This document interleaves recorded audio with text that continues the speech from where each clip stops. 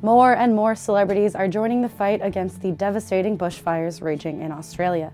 Aussie actor Chris Hemsworth and his family are donating a million dollars to fight the blazes that have killed dozens of people. Metallica has pledged about 750,000 Australian dollars, which comes out to about $516,000 to help victims. Elton John has also pledged a million dollars. He announced his contribution during a show in Sydney.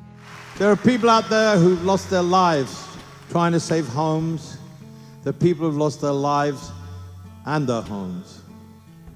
And last year's the plight of the animals and loss of their habitat that frankly is on a biblical scale and heartbreaking.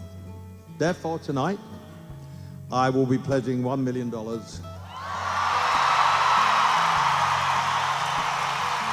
support the Bushfire Relief Fund. He's currently on the Australian leg of his Farewell Yellow Brick Road tour.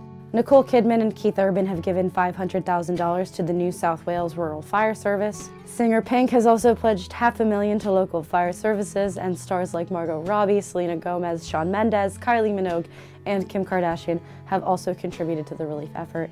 In addition to the human fatalities, almost 1 billion animals have been killed and more than 2,000 homes have been destroyed in the flames. Almost 11 million hectares of land, or roughly 41,000 square miles, have also been affected.